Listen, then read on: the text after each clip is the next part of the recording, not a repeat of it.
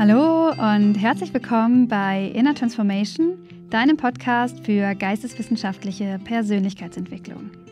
Ich bin Ida Sophie Schepelmann und in der heutigen Folge befassen wir uns mit deiner Sicht auf die Welt. Wie entsteht die eigentlich? Und das haben wir auch letztes Mal schon angesprochen aus dem Blick der Psychoanalyse durch unsere Prägung in der frühen Kindheit. Und es wird sicherlich auch häufiger nochmal Thema, weil sich unglaublich viele Menschen, unglaublich viele Wissenschaftsdisziplinen damit beschäftigt haben. Heute geht es um die soziologische Perspektive, und zwar darum, wie uns unser Umfeld prägt.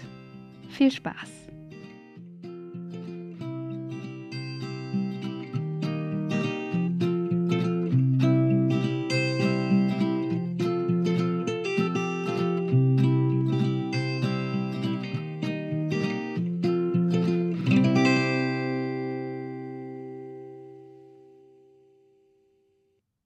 Hallo ihr Lieben, herzlich willkommen zur neuen Folge.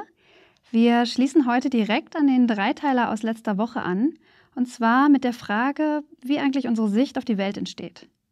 Falls du die letzte Folge noch nicht gehört hast, dann schau unbedingt mal rein. Es ging darum, wie Prägungen in uns in unserer Kindheit gewisse Herausforderungen im späteren Leben stellen und unsere basalen Ängste formen. Wenn ich beispielsweise zu viele Strafen und Regeln auferlegt bekommen habe, dann kann das dazu führen, dass ich später darin gehemmt bin, eigenen Gefühlen oder Meinung zu trauen und Impulsen zu folgen. Sich stattdessen weiterhin an die Ansichten seiner Bezugsperson zu klammern, kann regelrecht eine Angst vor Unbeständigkeit und Vergänglichkeit hervorrufen. Denn wo kann ich mich festhalten und bin vor Strafe sicher, wenn alles so impulsiv und ohne Richtwert ist? Wechsel oder Sprunghaftigkeit kann dann Angst machen und abgelehnt werden. Ihr könnt euch vermutlich denken, dass solche Prägungen, die in uns liegen, auch unsere Sicht auf die Welt formen und wir sie mitnehmen ins Erwachsenenalter.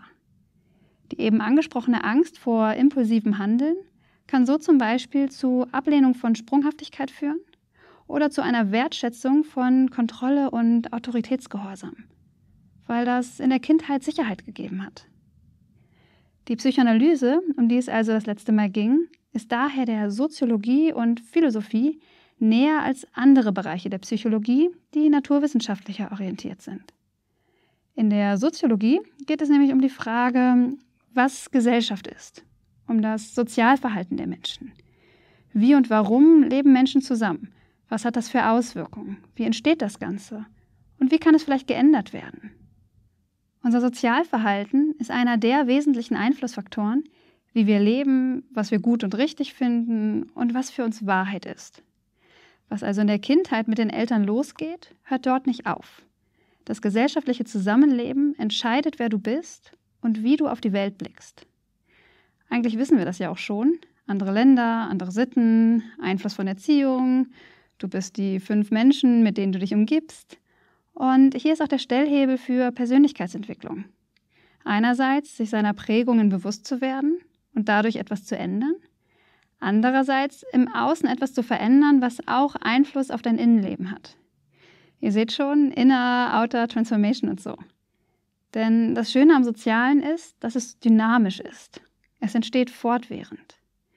Wenn ich heute böse mit meinem Partner rede oder mich ihm liebevoll zuwende, kreiert das eine unterschiedliche Beziehung zwischen uns morgen. Jetzt kann nicht alles ungeschehen gemacht werden, aber du hast in jedem Moment die Möglichkeit, dich anders in Beziehung und Gesellschaft einzubringen. Wie passt das zusammen? Wir sind als Menschen und als Gesellschaft formbar, aber nicht beliebig. Wir sind das Produkt unserer Vergangenheit. Naja, das Päckchen, das wir also mit uns rumschleppen und so. Aber halt auch unsere Interessen. Wäre ich in der Schule der Schach AG beigetreten, hätte ich heute ein anderes Verhältnis zu diesem Hobby ich würde vermutlich besser Schach spielen, hätte andere Freunde, mein Gehirn würde vielleicht anders aussehen, keine Ahnung. vielleicht hätte ich auch eine andere Karriere gewählt. Wer weiß das schon. Leider habe ich auch nicht mit vier mit Ballett begonnen und nur ein Semester Reitunterricht genommen, zwei Monate in meinem Leben Tennis gespielt. Naja, die Liste ist lang, was ich alles so getan und nicht getan habe. Und all das macht mich zu dem Menschen, der ich jetzt bin weil sich durch die Entscheidung Möglichkeiten auftun und verschließen. Ich brauche mich heute ganz sicher nicht auf einem Schachturnier anmelden, das ist vergebliche Mühe. Wäre ich damals in die Schach AG gegangen? Dann vielleicht schon. Jeder Moment ist eine Entscheidung für und gegen etwas. Wenn ich vor dem Schlafengehen im Dunkeln vor dem Bildschirm noch Netflixe, dann schlafe ich anders, als wenn ich bei Kerzenschein in der Badewanne liege. Und genau hier liegt unser Entwicklungspotenzial. Coaching-Techniken setzen genau hier an. Den Tag mit Dankbarkeit zu beginnen, Selbstliebe zu zelebrieren und sich Zeit für Reflexion und Meditation zu nehmen, hat einen anderen Einfluss auf deine Lebenseinstellung, als grumpy durch die Gegend zu schlurfen und den Fokus darauf zu legen, was alles Kacke ist im Leben. In jeder Sekunde entstehen wir neu. Wir nehmen alles Alte mit und treffen damit Entscheidungen für die Zukunft. Soweit so logisch. Deshalb ist es in der Persönlichkeitsentwicklung auch so ein Hype zu betonen, dass du die Wahl hast, dass du jeden Tag neu wählen kannst. Dafür brauchst du nur einmal die Motivationssprüche bei Instagram durchscrollen oder bei Google Bilder, je nachdem, was du so nutzt. Moment, das mache ich mal direkt. Es wird nicht leichter, du wirst besser. Jeder Morgen ist ein Neustart. Die Welt scheint zu klein geworden für große Träume, doch erweiterst du deinen Horizont, kannst du über sie hinauswachsen. Wenn dir jemand sagt, das geht nicht, denke immer daran, das sind seine Grenzen, nicht deine. Der beste Lehrer ist dein letzter Fehler. Ähm, oh, auch schön. Das Leben ist wie Zeichnen, nur ohne Radiergummi. Der Weg ist nicht das Ziel, es ist nur die Strecke, die du gehen musst, um ans Ziel zu kommen. Geh los. Ich könnte ewig so weiterlesen und äh, ihr kriegt wahrscheinlich mit, was ich sagen will. Du kannst Persönlichkeitsentwicklung betreiben, du kannst heute loslegen und neu wählen. Und wenn wir jetzt bei diesen ganzen Sprüchen zwischen den Zeilen lesen, bedeutet es eigentlich alles das Gleiche. Und zwar, du kannst dich verändern, aber du hast auch Prägungen, die deine heutigen Entscheidungen beeinflussen. Ich will nicht sagen, du kannst dich nur innerhalb deiner Prägung verändern. Das stimmt nicht. Sozialer Aufstieg oder Abstieg, Milieuwechsel, Geschmacksveränderung, Traumaverarbeitung, alles möglich. Aber deine Prägungen, die du jetzt gerade hast, bilden deine jetzige Entscheidungsgrundlage. Das ist wichtig. Wenn du also auf einer Straße des Lebens bist, dann kannst du Abzweigung nehmen gerne nochmal einen Tunnel oder eine Brücke und du kannst in der nächsten Kreuzung links abbiegen. Aber du kannst nicht auf einmal auf einer ganz anderen Straße sein. Da musst du hinfahren. Wie beim Sport muss der Muskel wachsen und Veränderung in dir oder auch in der Gesellschaft braucht Zeit. Und das jetzt nicht, weil Zeit ins Land gehen muss, bis es irgendwie im Kopf oder im Muskel ankommt, sondern weil wir uns nicht beamen können. Mit jeder Entscheidung bauen wir die Straße in die eine oder andere Richtung. Wir stehen immer wieder an einer Kreuzung. Schreie ich mein Kind an? Ja oder nein? Bin ich gestresst oder ruhig? Esse ich den Apfel oder die Banane oder den Schokokuchen? Die meisten unserer Entscheidungen laufen automatisiert ab. Du hast dich heute Morgen vermutlich nicht gefragt, ob du dir Klamotten anziehen solltest, wenn du aus dem Haus gehst. Du hast dich vermutlich auch nicht gefragt, ob Zähneputzen so eine gute Sache ist oder ob du den Badewannenwasserhahn heute einfach mal laufen lässt. Kinder wissen das nicht. Und das nicht, weil sie irgendwie dumm sind oder so, sondern weil sie es noch nicht gelernt haben. Ein soziales Wesen sein, also ein Mensch, der mit anderen Menschen interagiert und in Gesellschaft lebt, bedeutet, dass wir soziale Normen lernen. Triebe haben wir von ganz allein. Unser Sozialverhalten ist angelernt. Deswegen unterscheiden sich auch Kulturen, Zeitepochen und wir sprechen auch vom sozialen Geschlecht. Männlich, weiblich, divers ist auch deshalb unterschiedlich, weil wir mit unterschiedlichen Rollenklischees, Erziehungsmethoden und Vorgaben aufwachsen. Die derzeit beliebte Farbe für Jungs ist blau, für Mädchen rosa. Der Hefter für Mathe in der Schule ist blau, für Deutsch und Englisch rot und pink. Interessant. Ich bin übrigens schlecht in Mathe und gut in Sprachen. Interessant. Wie viel Biologie und wie viel sozialer Einfluss hat jetzt dazu geführt, dass ich einen geisteswissenschaftlichen und keinen naturwissenschaftlichen Podcast mache. Der Einfluss unseres Soziallebens sollte niemals unterschätzt werden. Der Mensch ist ein biologisches Wesen, ja, aber halt auch ein soziales. Und weil ein Großteil unseres Verhaltens anerzogen ist und unsere Entscheidungen unsere Zukunft bilden, fahre ich an der Kreuzung links oder rechts, und unsere Entscheidungen größtenteils automatisiert ablaufen, also gehe ich jetzt heute nackig oder mit Klamotten aus dem Haus. Das führt dazu, dass unsere Zukunft letzten Endes mehr oder weniger unsere Vergangenheit wiederholt und Veränderung nur sehr langsam stattfindet. Wir bauen uns langsam die Straße da, wo wir hinwollen. Und irgendwann fragst du dich auch nicht mehr, ob du Klamotten anziehen solltest. Und ähm, ja, der Soziologe und Sozialphilosoph Pierre Bourdieu sagt dazu, dass wir Menschen strukturierte und strukturierende Struktur sind. Wir sind geprägt worden. Wir prägen aber auch andere und unsere eigene Zukunft. Unser sogenannter Habitus, also all unsere Vorlieben, Geschmack, Gewohnheit zusammengepackt, das sind wir, so handeln wir, das meint jetzt nicht nur die Vergangenheitsperspektive, unsere Prägung, sondern auch die Zukunftsperspektive. Unser Habitus sagt, wie wir handeln oder wie wir wahrscheinlich handeln werden. Ich hatte auf Instagram von diesem Autor schon einmal ein Zitat gepostet, was ich ganz schnittig finde. Zitat: Der Geschmack bewirkt, dass man hat, was man mag, weil man mag, was man hat. Zitat Ende. Wir rühren also so ein bisschen im eigenen Brei rum und wiederholen unsere eigene Vergangenheit. Aber genau dort, zwischen unseren Prägungen und dem Prägen der Zukunft, liegt auch unser Stellhebel. Der, der auch in all diesen Motivationssprüchen durchschimmert. Wie war das nochmal? Wege entstehen dadurch, dass man sie geht. Tue heute etwas, worauf du morgen stolz sein kannst. Wir befinden uns immer, fortwährend, zwischen der Prägung und dem Prägen. Wie genau entsteht jetzt also mein Weltbild? Aus soziologischer Perspektive sind wir geprägte, geformte, gebildete Wesen, um in einer Gesellschaft zu leben. Diese Normen sind nicht nur notwendig fürs Zusammenleben, sondern resultieren auch automatisch aus dem Zusammenleben. Gehen wir zurück zum Anfangsbeispiel. Ich bin böse oder liebevoll zu meinem Partner. Es ist jetzt irrelevant, ob mein Verhalten gerade einer Norm entspricht oder von der Gesellschaft erwünscht ist oder nicht. So oder so hat es Einfluss auf meinen Partner, auf mich, auf unsere Beziehung. So wie ich mich verhalte, bewirkt es etwas. Soziale Dynamik entsteht von ganz alleine und schafft die Basis für weiteres. Ich nehme also in dieses Gespräch mit meinem Partner all meine Prägungen, Erfahrungen, Sozialkontakte, was ich gelernt habe, all das nehme ich mit hinein. Und durch das Gespräch und weitere Situationen bilde ich damit unsere Zukunft heraus. Mein eigenes Leben, aber auch unsere Beziehung und die Gesellschaft, weil mit der befinden wir uns ja immer im Austausch.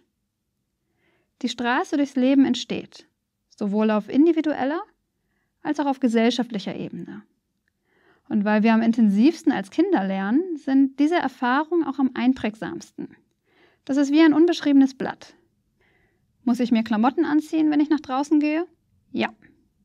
Dann machst du das 20 Jahre lang und bist automatisiert und geprägt durch die Kindheit. Wir lernen aber weiter. Dass wir als Erwachsene nicht mehr so vor Neugier herumspringen und ein bisschen eingerostet sind in unseren Überzeugungen, liegt daran, dass wir uns mindestens 20 Jahre lang selbst bestätigt haben. Ja, es ist richtig, Klamotten anzuziehen. Ja, es ist richtig, Klamotten anzuziehen. Ja, es ist richtig, Klamotten anzuziehen. Ja, die Straße, die wir jetzt gebaut haben bis nach Kopenhagen, wenn wir die jetzt umleiten wollen nach Birmingham, dann dauert das ein bisschen. Es ist aber möglich. Und das ist das Schöne. Übrigens gilt das nicht nur für Soziales. Auch unsere Darmbakterien können sich ändern und damit unser Geschmack.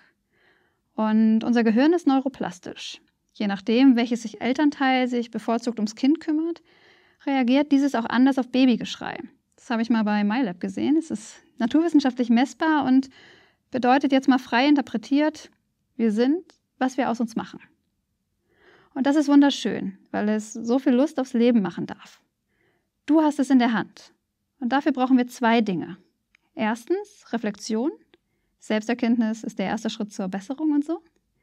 Deine eigene Vergangenheit zu reflektieren ermöglicht dir zu erkennen, dass es Entscheidungen waren, dass sie anders getroffen werden können. Es ermöglicht dir auch zu verstehen, warum du so bist, wie du bist. Um Entscheidungen anders zu treffen, bedarf es aber auch Inspiration. Reflektieren ist schön und gut, aber wenn du nichts anderes kennst, wie willst du dich dann anders entscheiden? Und wie willst du überhaupt reflektieren, wenn dir gar nicht bewusst werden kann, dass es auch anders geht. Neues zu lernen, sich mit neuen Dingen, Wissen, Menschen zu umgeben, gibt dir Wahlmöglichkeiten. Reisen bildet, Lesen bildet. Wie sollst du wissen, was du nicht weißt? Wie kann man erwarten, dass sich was verändert, wenn man sich keine Impulse holt? Der Soziologe Gerhard Schulze spricht so auch von einem Milieuwechsel. Nee, geht gar nicht. Ihre Freunde haben echt so schlechten Einfluss auf sie. Die rutschen noch auf die schiefe Bahn. Ja, das ist möglich. Unser Umfeld gibt uns die Impulse, aufgrund derer wir Entscheidungen treffen können. Ich finde, das sieht man immer schön in dem Film Ziemlich beste Freunde. Der Krankenpfleger aus sozial schwächerem Milieu arbeitet in einem intellektuellen Haushalt und erkennt in der Folge beim nächsten Bewerbungsgespräch das Kunstwerk an der Wand und redet mit der Personalerin über Kunst. Ein Milieuwechsel. Seine vorherigen Freunde können mit Kunst nichts anfangen. Er wechselt von einem in ein anderes Umfeld durch die Erfahrung, die er gesammelt hat. Er hat seine Lebensstraße weitergebaut. Wir sind nicht gefangen in unseren Prägungen, aber sie bilden den Ausgangspunkt und das macht unsere Individualität aus. Und das ist ja auch cool.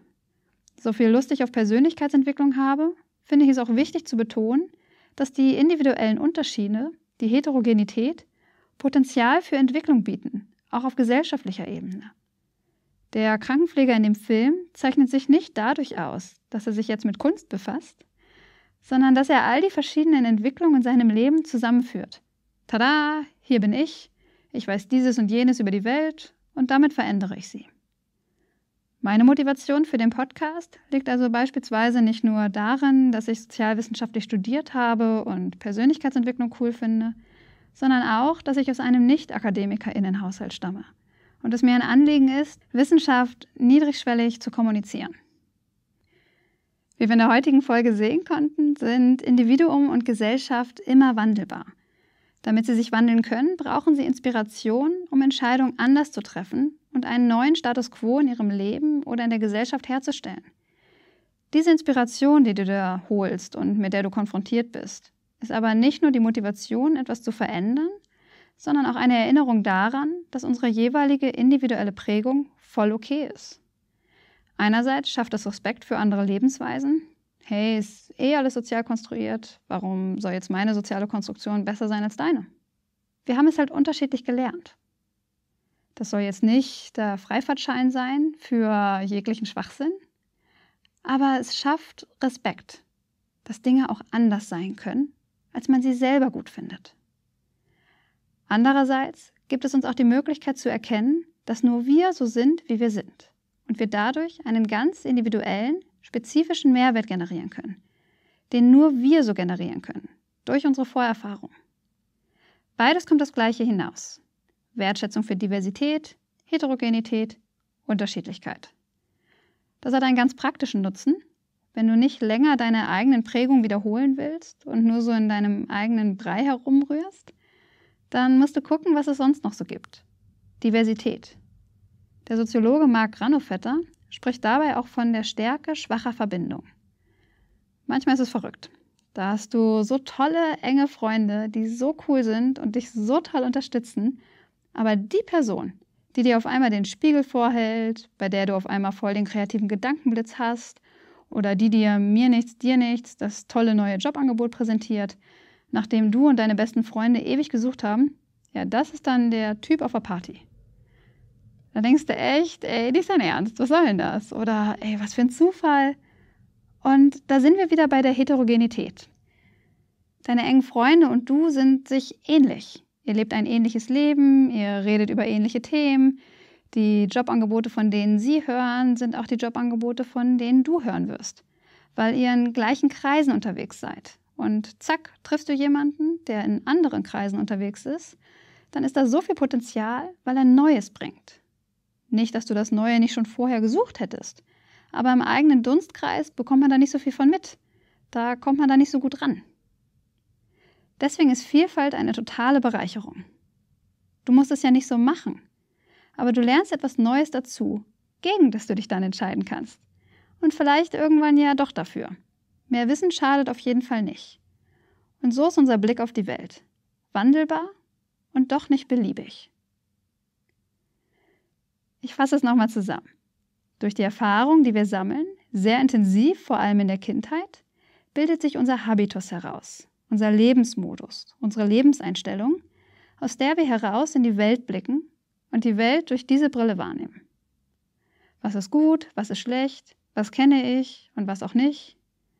Das ist sozial konstruiert durch unser Umfeld, wie beispielsweise unsere Kultur und unsere Eltern, und lässt sich durchaus auch ändern. Uns hätten ja auch andere Leute prägen können. Unser Blick auf die Welt ist also wandelbar, wenn wir Neues lernen, zum Beispiel indem wir unser Umfeld wechseln. Unsere Entscheidungen treffen wir aus diesem Habitus, unserem Gewohnheitsdenken heraus, häufig automatisiert.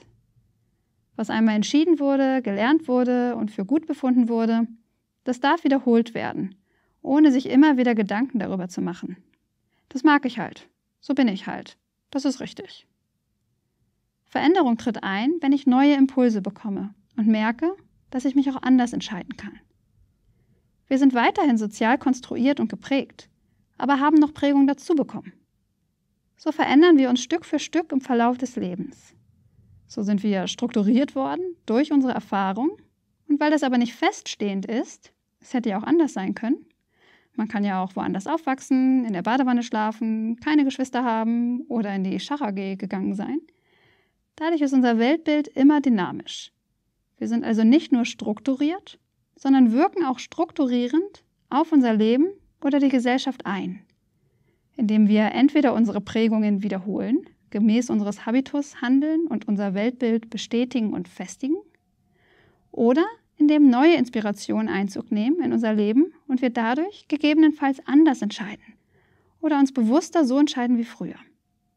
Diese Inspirationen sind vielfältig. Auch Gesetze gehören dazu.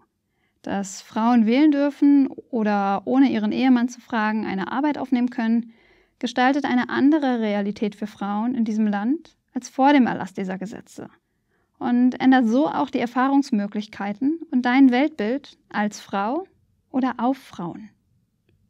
Alles, was du lernst, hat Einfluss auf das, was du für normal hältst. Entweder indem es es erweitert, bestätigt oder auch negiert. So ist stetige Entwicklung auf individueller, aber auch auf gesellschaftlicher Ebene nicht nur möglich, sondern einfach normal. Besonders entwicklungsförderlich ist Heterogenität, weil Vielfalt eine Vielfalt an Impulsen ermöglicht, zu denen du dich verhalten kannst. Das heißt nicht, dass sich jetzt alles verändert. Du kannst ja auch ganz bewusst Neues ablehnen.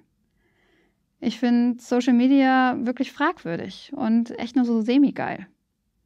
Du bist kein Opfer der neuen Impulse.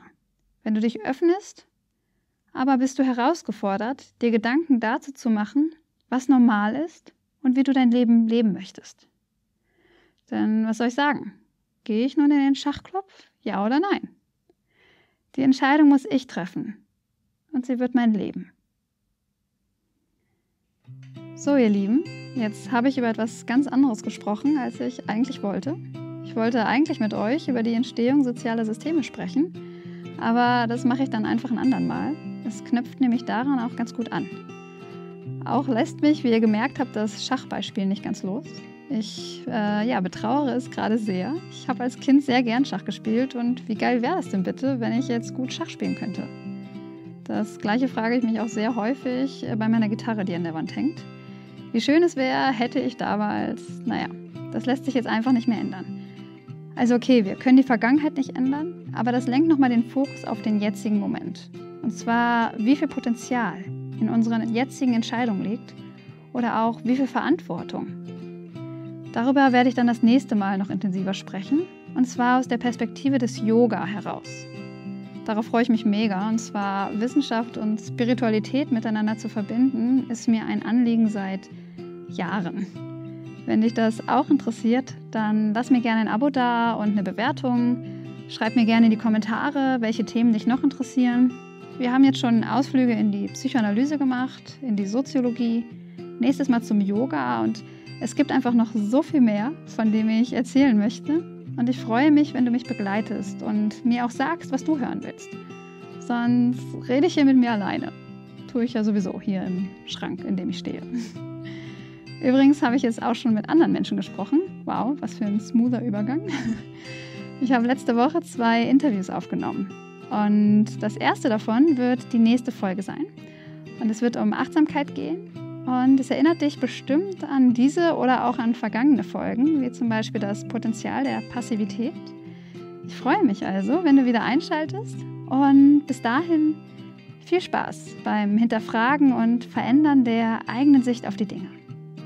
In diesem Sinne, join the Hype, Inner Transformation für gesellschaftlichen Wandel. Mach's gut und bleib kritisch. Deine Ida.